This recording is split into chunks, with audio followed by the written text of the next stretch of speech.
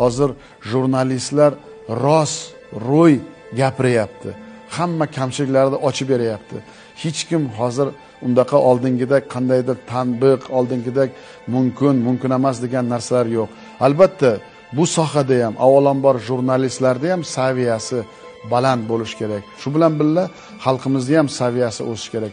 Mana shunda bizda hamjihatlik bilan e, mana shu odamlarimizni ongini o'zgartirish bo'yicha adolatli to'g'ri ma'lumot yetkazish bo'yicha jurnalistlarni mana shu roli cheksiz. Bandixon tumani hokimligiga tushayotgan murojaatlar o'z yechimini topmoqda. Bandixon tuman prokuraturasining foydalanishga topshirilayotgan yangi binosining ochilish marosimiga barchangizga xush kelibsiz deymiz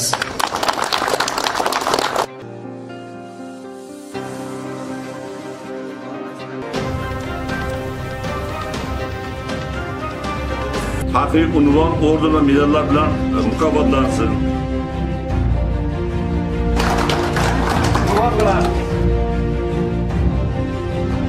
buni ham ushlang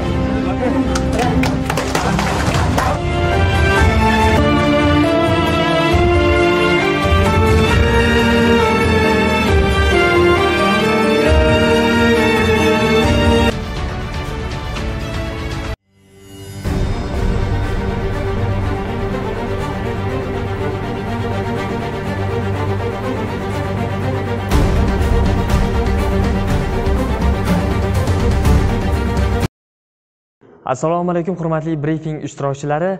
Bugungi kunda davlatimiz rahbari tomonidan mamlakatimiz aholisi yaxshi sharoitda hayot kechirishlari uchun barcha imkoniyatlar sharoitlar yaratilmoqda.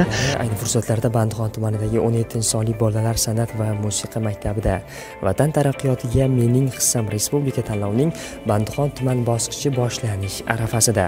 Bugungi kunda bandixon tumanimizni aholisi yaxshi sharoitda yashashlari uchun ko'plab barcha imkoniyatlar yaratilmoqda. Ayni daqiqalarda biz bandixon tumanidagi qaldirg'och mahallasida joylashgan 22 umumta'lim maktabdamiz aynan bugungi final bosqichida sportning mini futbol hamda futbol turlari bo'yicha yoshlingiz markazida ijtimoiy tarmoqlarda e'lon qilganimizdek ayniqsa so'nggi 5 yilda tibbiy xizmatni yanada yuksaltirishga daxldor xayrli tashabbuslar sog'liqni saqlash istiqbolini belgilab berdi. Birinchi yil xalqaro bolalarni himoya qilish kuni munosabati bilan madaniy ma'rifiy tadbir dasturi bo'lib o'tmoqda va bugungi tadbir dasturiga ayni daqiqalarda 500 dan ortiq yurtdoshlarimiz tashrif buyurishgan aynan bugun bandixon tumanida yangi o'zbekiston yoshlari birlashaylik shiori ostida yoshlar festivali bo'lib o'tmoqda va aynan siz ko'rib turgan ushbu kitob javonlar hamda kitoblar jamlanmasi bandixon tumanida faoliyat yuritayotgan 22 mahallalardagi yoshlar yetakchilariga aynan bugun tantanali ravishda topshiriladi.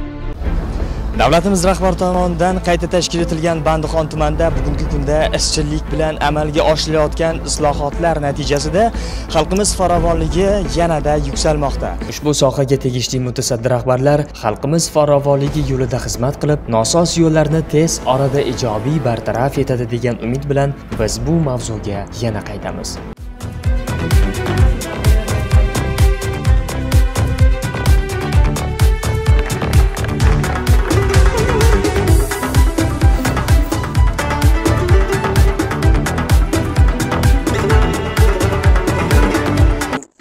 Surxondaryo viloyatida qayta tashkil etilgan yangi bandixon tumanida bugungi vaqtda barcha sohalarda yangilanishlar amalga oshirilmoqda va ayni vaqtda esa bandixon tumanining asosiy yo'llariga asfalt yotqizish ishlari amalga oshirilmoqda. Bu esa o'z o'rnida xalqimiz farovonligini yaxshilashga bevosita xizmat qiladi.